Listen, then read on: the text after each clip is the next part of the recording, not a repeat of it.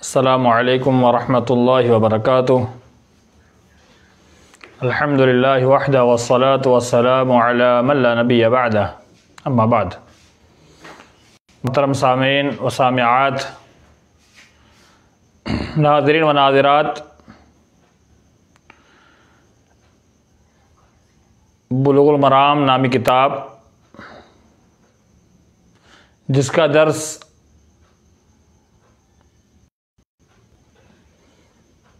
دو درس ہو چکے ہیں۔ آج تیسرا درس آپ کے سامنے پیش کرنے جا رہا ہوں۔ اس سے پہلے اکیس حدیث اس کتاب کی ہو چکی ہے۔ آج اگلا بیان اور بائیس نمبر کی حدیث سے انشاءاللہ گفتگو شروع ہوگی۔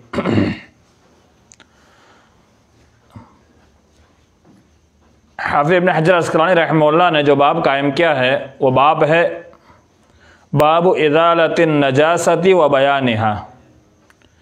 نجاست کے زائل کرنے اور اسے ختم کرنے کا اور نجاست کا بیان۔ وضاحت یہ ہے کہ نجاست کیا چیز ہے، کس نجاست کہا جاتا ہے، کون کون سی چیز جسے نجاست میں شمار کیا گیا ہے، اس اس کے متعلق احادیث اور مسائل پیش کیے گئے ہیں۔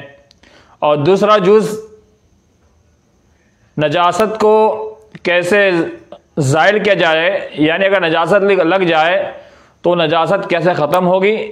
اس تعلق سے انشاءاللہ اس باب کے اندر احادیث کی روشنی میں گفتگو ہوگی۔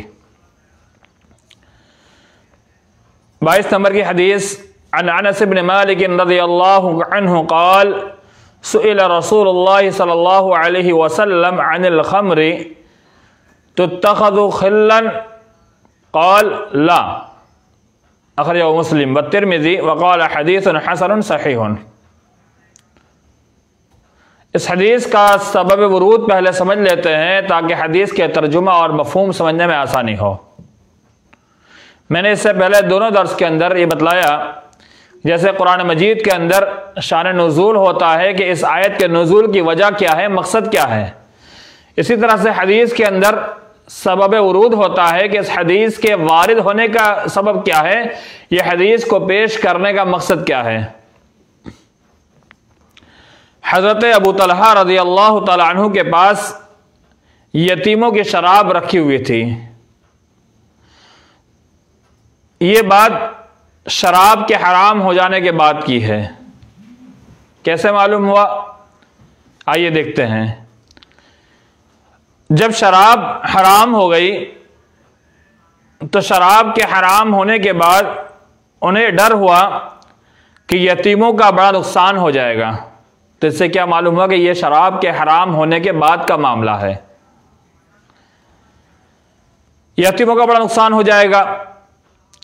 تو انہوں نے یعنی حضرت ابو طلحہ رضی اللہ تعالیٰ عنہ نے اللہ کے رسول صلی اللہ علیہ وسلم سے شراب کو سرکہ میں تبدیل کرنے کے تعلق سے پوچھا۔ تو اللہ کے رسول صلی اللہ علیہ وسلم نے جو کہا، وہ حدیث کے الفاظ دیکھتے ہیں۔ حضرت انس بن مالک رضی اللہ تعالیٰ عنہ حدیث کے راوی کہ انہوں نے کہا کہ پوچھا گیا اللہ کے رسول صلی اللہ علیہ وسلم سے، عن الخمر تتخذ خلن شراب اس شراب کے بارے میں جو جس کا سرکہ بنایا گیا ہو۔ تو پوچھنے والے حضرت ابو طلحہ رضی اللہ تعالیٰ عنہ، اور شراب جس کو سرکہ بنایا گیا ہو، اس کے تعلق سے پوچھا گیا کہ کیا حکم ہے اس کا؟ تو اللہ کے رسول اللہ نہیں۔ شراب کو سرکے میں تبدیل نہیں کر سکتے، وہ حرام حرام ہی رہے گا۔ اخرج و مسلم و ترمیزی یہ روایت مسلم رحمہ اللہ نے بھی نقل کی ہے اور ترمیزی کی روایت بھی ہے اور اس حدیث کو امام ترمیز رحمہ اللہ نے حسن سے ہی کہا ہے۔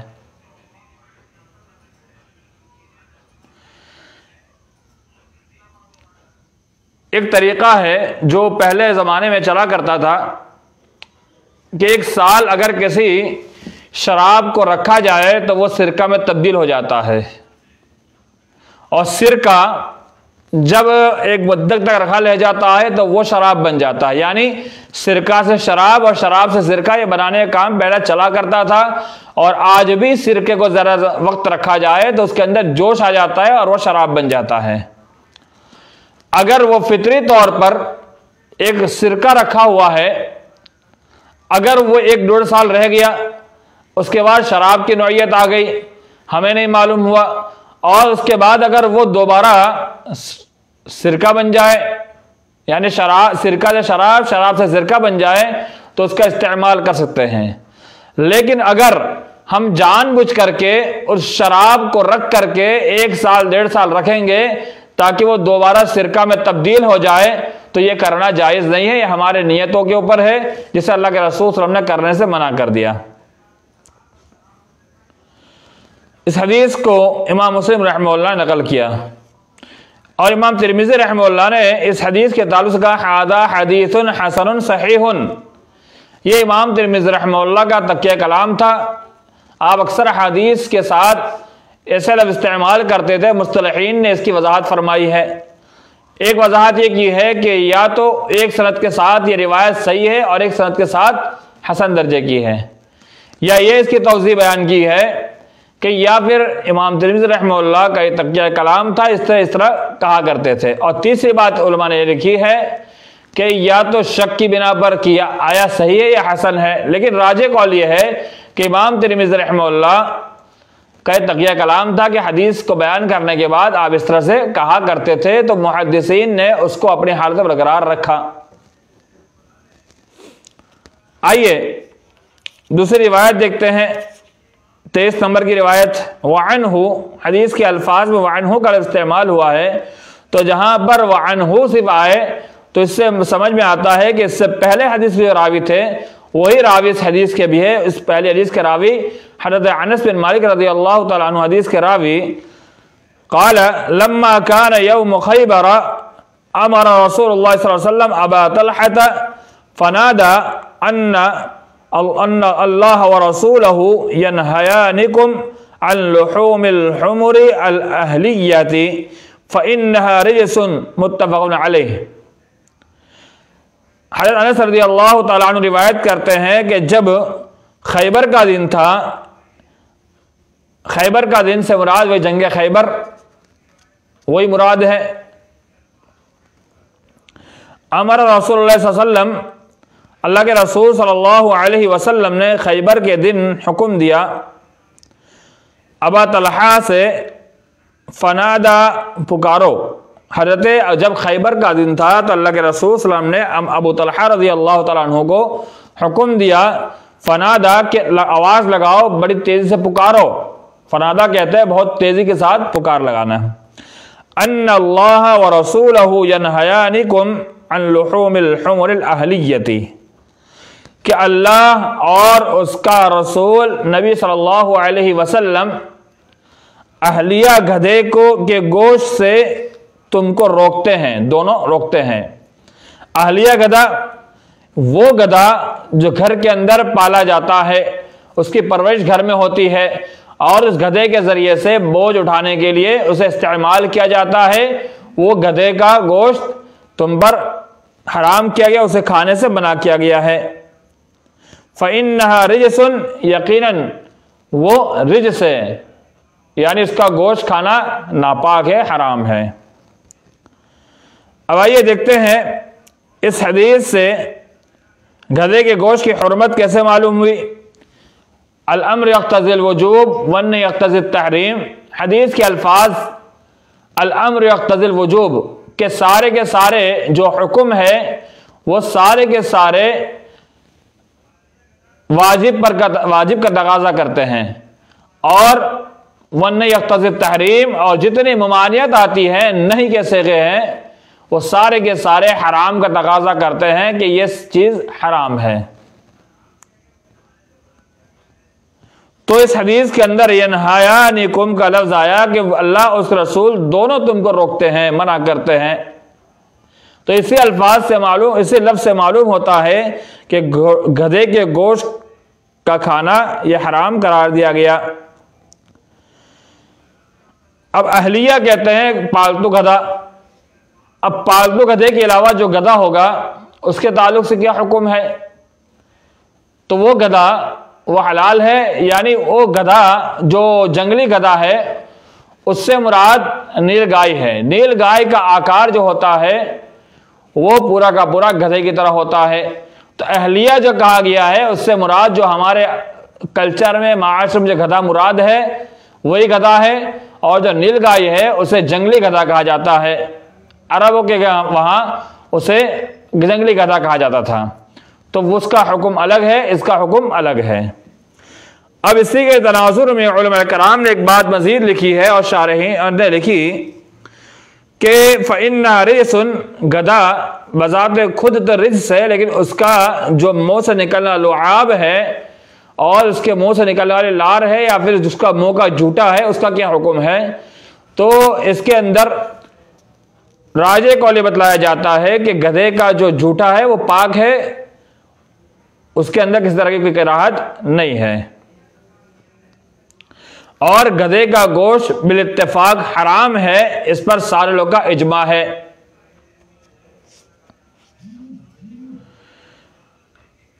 آئیے آگے دوسری حدیث ہم دیکھتے ہیں۔ چوبیس نمبر کی حدیث۔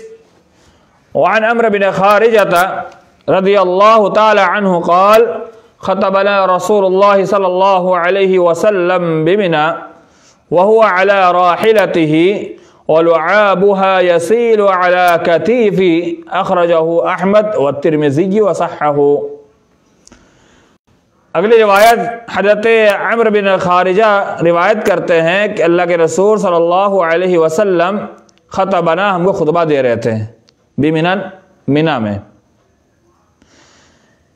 منا میں اللہ کے رسول صلی اللہ علیہ وسلم میں خطبہ دے رہے تھے۔ اور آپ کہاں تھے خطبہ دیتے ہوئے؟ وہ اعلیٰ راحلتی ہی اس حال میں کہ آپ اپنے اونٹنی کے اور اپنی سواری کے اوپر بیٹھے ہوئے تھے۔ وَلُعَابُهَا يَسِيرُ عَلَى كَتِفِي راوی حدیث کہتے ہیں کہ اس کا لعاب یعنی اس اونٹنی جس سواری پر آپ بیٹھے ہوئے تھے، اس سواری کا لعاب میرے کندھے پر بہ رہا تھا۔ اسے امام احمد بن حنبل نے نقل کیا ہے اور امام ترمیزی نے بھی اور اس کو صحیح قرار دیا ہے۔ لعاب کہتے کس کو ہے؟ لعاب کہتے ہیں جانور کے یا انسان کے زبان سے نکلنے والا تھوک۔ جو ریس کر نکلتا ہے، جسے ہم لار کہتے ہیں۔ یعنی جو منہ سے تھوڑا تھوڑا گرتا ہے، اکثر لوگ جب سوتے ہیں تو اس کے منہ سے یہ نکلتا ہے۔ ماہرین کہتے ہیں اس سے بڑا فائدہ ہے۔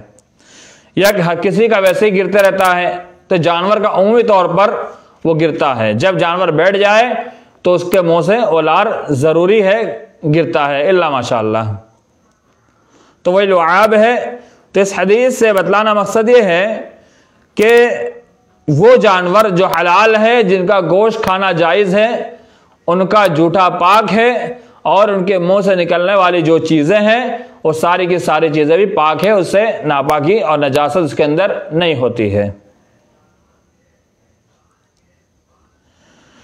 آئیے اگلا اگلی حدیث دیکھتے ہیں پچیس نمبر کی حدیث اس کتاب کی وعن عائشة رضي الله تعالى عنها قالت كان رسول الله صلى الله عليه وسلم يغسل المني ثم يخرج إلى الصلاة في ذلك الثوب وأنا أنظر إلى أثر الغسل فيه. متفق عليه. یہ روایت ذرا وضاحت چاہتی ہے۔ میں انشاءاللہ واضح الفاظ کے ساتھ اس میں بات کروں، گفتگو کروں گا، کیونکہ ضرورت ہے اور ہمارے معاشرے میں اس کی کافی ضرورت بھی ہے۔ حضرت عائشہ رضی اللہ تعالی عنہ حدیث کی راوی انہوں نے کہا، کان رسول اللہ صلی اللہ علیہ وسلم یغسل المنیہ کہ اللہ کے رسول صلی اللہ علیہ وسلم منی کو دھلتے تھے۔ منی کسے کہتے ہیں؟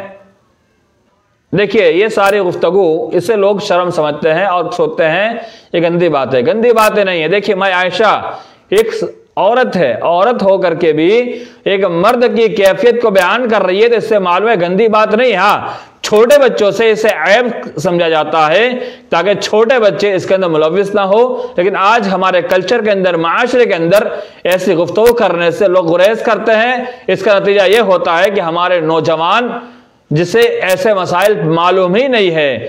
کل ہی میں نے ایک درس پرسو ایک درس کے اندر میں نے کہا تھا شرم و حیا والے درس کے اندر کہ ایک ان اللہ علیہ الحق، ام سلمہ کی بات پیش کی تھی، وہ کہتی اللہ حق سے نہیں شرماتا، تو میں کیوں شرما ہوں سوال کرنے کے اندر؟ تو یہ یہ معاملہ ایسا ہے کہ جو جانکاری سے تعلق رکھتا ہے چھوٹے بچوں کے لیے عیب کی چیز ہے اور بڑوں کے لیے ان سارے مسائل کا جاننا انتہائی ضروری ہے اور ایسے مسائل بیان کرنے میں علماء گریز بھی نہیں کرنا چاہیے۔ علماء بھی شرماتے ہیں اور سوچتے ہیں یہ لوگ گندا سمجھیں گے، لوگ کیا تصور کریں گے؟ کون کیا تصور کریں اس سے مطلب نہیں ہے، بلکہ عوام کے درمیان ایسے مسائل کی وضاحت ضروری ہے۔ میں عائشہ ایک عورت ہونے کی ہونے کے باوجود اس حدیث کو بیان کرتی ہے اور کیفیت بتلاتی ہے تو اس سے معلوم ہوتا ہے کہ ہاں، ایسی کیفیت بتلانا اور اس مسائل کے پروازے کا وضاحت کرنا، گفتگو کرنا کوئی برائی نہیں ہے۔ کہ اللہ کے رسول صلی اللہ علیہ وسلم منی کو دھلتے تھے۔ منی کسے کہتے ہیں؟ منی کہتے ہیں، مرد کی شرمگاہ سے لیسدار سفید گاڑا پانی جو نکلتا ہے، اسے منی کہا جاتا ہے۔ یہ تعریف سارے کے سارے شارحین نے کی ہے اور یہی حقیقت بھی ہے۔ جب یہ انسان جب سویا رہتا ہے تو خواب کی حالت میں نکلتا ہے، مرد حضرات یا پھر اپنی عورت سے مجامعات کی صورت میں نکلتا ہے، تو اس کی یہ صورت ہے۔ تو یہ جب مرد کی شرمگاہ سے خارج ہو جائے تو چاہیے اللہ کے رسول اس کو دھل دیتے تھے۔ ثم یخرج الى الصلاة پھر نکلتے تھے نماز کی طرف۔ میں انشاءاللہ احتلام کے بعد جو غسل کا طریقہ ہے، وہ انشاءاللہ جب وہ باب آئے گا، تو وہاں انشاءاللہ ضرور تفصیل کے ساتھ اس کو پیش کیا جائے گا۔ تو اللہ کے رسول وسلم کے بارے میں بتلایا، آپ اس کو دھل لیتے تھے۔ یعنی جہاں پر منی کے داغ لگے ہوئے ہیں، جہاں منی لگا ہوا ہے، اس حصے کو آپ پانی سے یا کسی چیز سے اس کو دھل لیا کرتے تھے۔ ثم يخرج الى الصلاه في ذلك الثوب۔ پھر نکلتے تھے اسی کپڑے میں نماز کی طرف، اسی کپڑے میں نماز کی طرف۔ اور آج کل نادانی میں، نہ جاننے کی وجہ سے یہ ساری چیزوں کو بہت برا مانا جاتا ہے، گندا مانا جاتا ہے۔ کپڑا منی لگ گیا، اس کو چھونا نہیں ہے، اس کو اڑنا نہیں ہے۔ اس کو جس جگہ پر لگائے دھل لیا جائے اور اسی کپڑے میں نماز پڑھنا چاہے تو پڑھ سکتا ہے۔ وَأَنَا أَنْدُرُ إِلَىٰ أَثَرِ الْغَسْلِ فِيهِ میں ایشہ بیان کرتی ہے، میں دیکھتی تھی اس کپڑے کے اندر یعنی جس جگہ کو دھلا ہوا تھا وہاں پر دھلنے کے اثر کو یعنی دھلنے کے اثر جب پانی وہاں لگا رہے گا تو اثر ضرور دکھیں گے۔ تو اس کو دیکھتی تھی۔ یہ متفق علی روایت ہے۔ مسلم شریف کی روایت کے اندر، لقد كنت افرقه من ثوب رسول اللہ علیہ وسلم فرقن افرق کہتے ہیں فرق کہتے ہیں کہ اسے مل کر کے صاف کرنا یعنی جی- میں ایشا کہتی ہے کن تو افرق ہو کہ میں اس اللہ کے رسول کے کپڑے سے اسے اچھے طرح سے مل دیا کرتی تھی یعنی اچھے سے مل دیتی تھی۔ پھر ایک فیوسلی فی، پھر آپ اسی کپڑے میں نماز پڑھتے تھے۔ وفی لفظ لہو، اور ایک الفاظ کے ساتھ یہ ہے لقد کن تو احق ہو یا بسن بزوفوری من صوبہی جب منی سکھ جاتا تھا یا سکھا رہتا تھا تو اسے میں اپنے ناخون سے کھرد دیتی تھی۔ تو اس حدیث میں ایک بات یہ معلوم اللہ رسول دھل دیا کرتے تھے۔ دوسری بات، اس کو مل دیا کرتے، اچھے سے ملتے تھے۔ تیسری بات کہ اس کو اگر سکھا ہوا ہے تو ناخون سے کھرد دیں گے، تب بھی کام چل جائے گا۔ تو ان ساری ساری باتوں کو سامنے رکھنے سے کیا معلوم ہوا کہ اگر کپڑے پر منی لگا ہوا ہے، اسے اچھے سے دھل لیا جائے اور تھوڑا کپڑے کو مل لیا جائے، مل کر کے اچھے دھلا جائے تاکہ منی کے اثرات ختم ہو جائے اور پانی کے اثرات باقی رہے، کوئی بات نہیں۔ اور اگر سکھا ہوا منی ہے تو اس کو بالکل اچھی طریقے سے اس کو خرید دیا جائے۔ یہ تین طریقے معلوم ہوئے۔ اب مسئلہ یہ ہے کہ منی پاک ہے یا ناپاک ہے، اس اختلاف کی طرف میں لے جانا نہیں چاہتا ہوں۔ لیکن راجے کو آپ کے سامنے پیش کروں کہ جتنے سارے علماء کرام نے جو بات کی ہے راجے کو یہ ہے کہ منی ناپاک ہے۔ اس کو صاف کرنے کے بعد، دھلنے کے بعد وہ زائل ہو جاتا ہے۔ تو اس حدیث کو اس باب میں لانے کا مقصد نجاست کا بیان اور نجاست کا زائل کیسے کریں گے؟ اس کا بیان ہے۔ اگر نجاست نہیں ہوتی تو زائل کرنے کی ضرورت کیوں پیش آتی؟ اس کو صاف کرنے کی۔ مطلب یہ نجاست ہے، تب جا کے اس کو صاف کرنے کا حکم آتا ہے۔ اب ایک بات یہ کہی جاتی ہے کہ اگر منی ناپاک ہے تو انسان کے جسم جو بنا ہے، یہ منی کے قطرے سے بنا ہوا ہے۔ تو انسان میں ناپاک ہو گیا۔ ہر ایک کی حیت الگ ہوتی ہے، ہر ایک کا معاملہ الگ ہوتا ہے۔ جب انسان کے جسم کے اندر وہ تھا، تب اس کا معاملہ الگ تھا، اور جسم کے اندر سے جسم کے اندر ہے، تو اس کا معاملہ الگ ہے۔ تو ہر چیز کو ہم اپنے عقل پہ نہ تولے۔ شریعت اسلامیہ ہماری عقل پہ نہیں چلتا ہے، بلکہ اسلام احادیث اور دلائل کی روشنی میں چل میں ہمارے ہر معاملے ہوتے ہیں، ہماری عقل پہ کوئی معاملہ نہیں ہوتا ہے۔ ہم بہت سارے سوچ لیں تو یہ ساری چیزیں کسی کام کی نہیں ہیں، بلکہ جو راج قول ہے یہی ہے کہ منی ناپاک ہے، اس کو صاف کرنے کے بعد وہ چیز زائل کی جاتی ہے، پھر وہ صاف ہوتا ہے۔ آئیے، آگے روایت دیکھتے ہیں۔ چھبیس نمبر کی روایت۔ وعن ابي السمع سمح رضي الله تعالى عنه قال قال رسول الله صلى الله عليه وسلم، يغسل من بول الجارية ويرش من بول الغلام. اخرجه ابو داود والنسي وصح والحاکم بہت اہم روایت ہے اور اکثر سوال بھی آتے رہتا ہے اس تعلق سے۔ آئیے آپ کے ساتھ اس حدیث کی وضاحت بھی ہو جائے۔ حضرت ابی سب رضی اللہ تعالیٰ عنہ حدیث کے راوی انہوں نے کہا کہ اللہ کے رسول صلی اللہ علیہ وسلم فرمایا، یغسل من بول الجاریتی، جاریہ کہتے ہیں، ایسی بچی جو چھوٹی ہے، ابھی دودھ پینے والی بچی۔ دودھ پینے والی جو لڑکی ہے، اس کے پیشاب کو دھویا جائے گا۔ وَيُرَشُّ مِن بَوْلِ الْغُلَامِ، اور دودھ پیتا ہوا بچہ، غلام دودھ پیتا ہوا بچہ، اس کے پیشاب پر چھیٹے مارے جائیں گے۔ اس کے پیشاب پر چھیٹے مارے جائیں گے۔ دیکھیے ایک داود کی روایت ہے، اسے امام حاکم نے اور صحیح کی ہے، امام حاکم اس کو صحیح قرار دیا ہے۔ لڑکے اور لڑکی کے پیشاب کے تعلق سے یہ شریعت کا ایک عام حکم ہے۔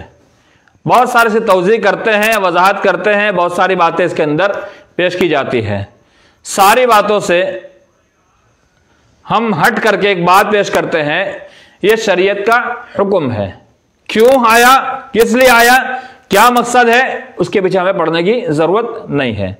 جہاں شریعت کا حکم آ جائے، ہمیں فوراً اسے تسلیم کرنا ہے۔ ہاں شریعت نے کہا ہے کہ لڑکا جب دودھ پیتا ہو تو اس کے پیشاب پر چھٹے مارے جائے، لڑکی جب دودھ پیتی ہے تو اس کے پیشاب کو دھویا جائے بد خلاص۔ اب اس کی توضیع کی ضرورت نہیں ہے کہ کیوں ایسا ہوا، کیا مقصد ہے۔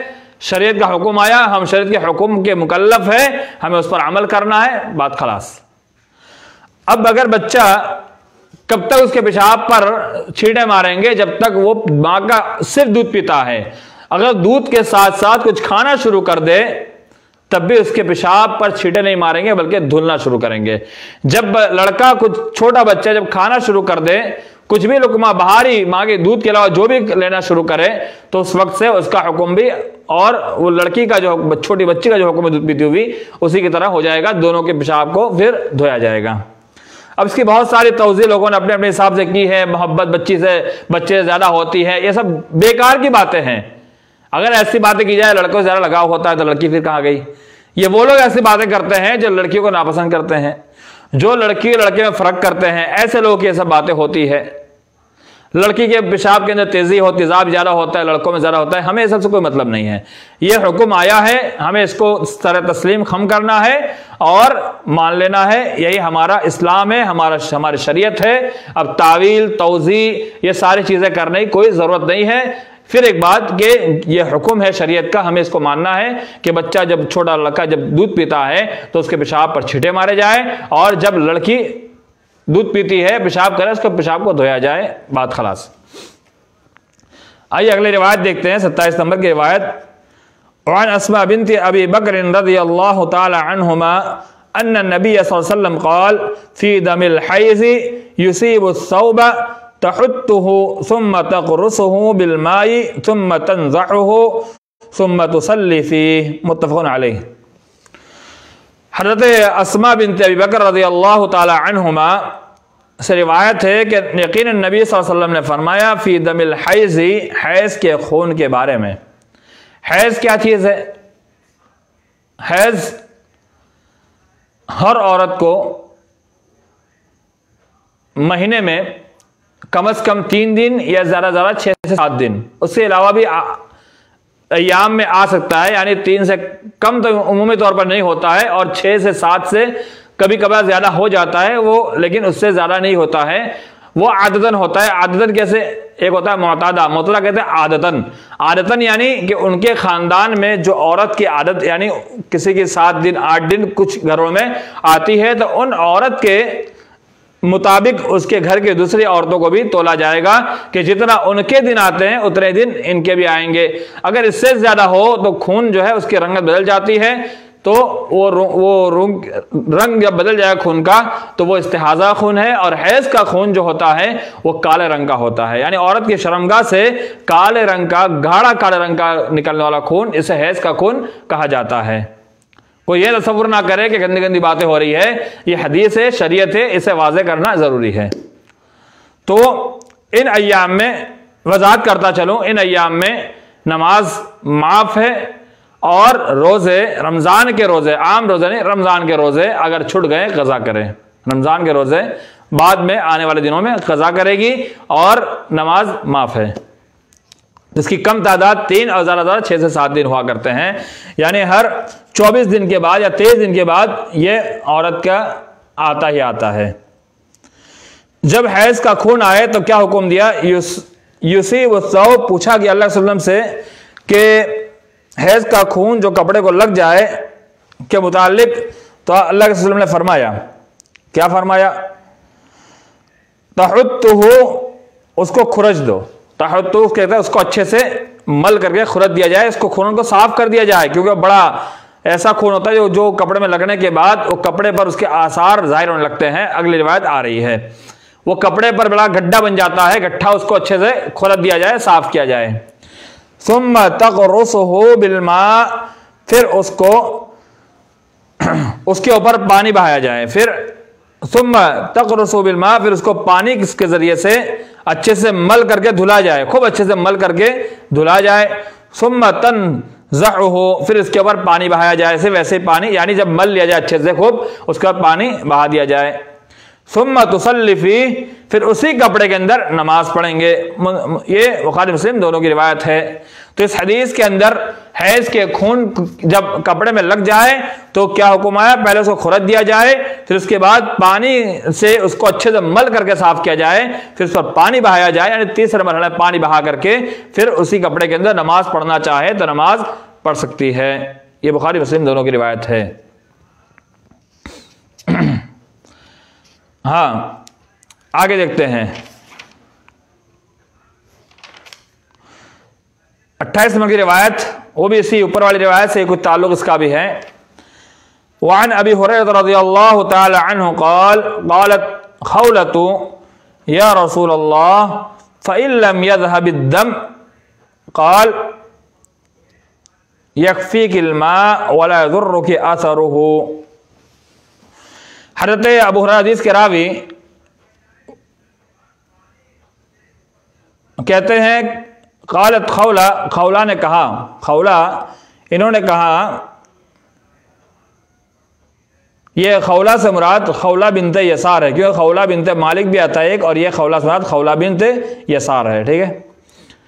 اس عورت نے اللہ کے رسول صلی اللہ علیہ وسلم سے کہا، یا رسول اللہ، اے اللہ کے رسول صلی اللہ علیہ وسلم فَإِلَّمْ يَذْهَبِ الدَّمْ اگر خون نہ جائے یعنی خون کے اثر نہ جائے یعنی اگر عورت حیض آیا، حیض کے کپڑے، حیض یعنی خون، حیض کا خون کپڑے پہ لگ گیا، اس کو رگڑا جائے، پھر مل کر کے پانی سے دھویا جائے، اور اس کے بعد پانی بہانے کے باوجود بھی اگر اس کے اثر کپڑے پر باقی رہ جائے، تو اللہ کے رسول صلی اللہ علیہ وسلم فرمایا یکفی کلما پانی کافی ہو جائے گا یعنی پانی سے دھلنا کافی جائے گا، اس کے اثر باقی رہنے سے کوئی فرق نہیں پڑتا۔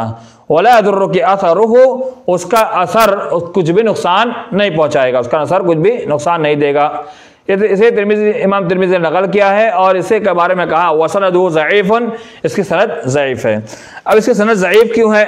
اس کی صنعت کے اندر ایک راوی ہے جسے ابو لحیہ کہا جاتا ہے۔ ابو لہیا یہ ایک ایسے راوی ہے جو بہت مشہور راوی ہے۔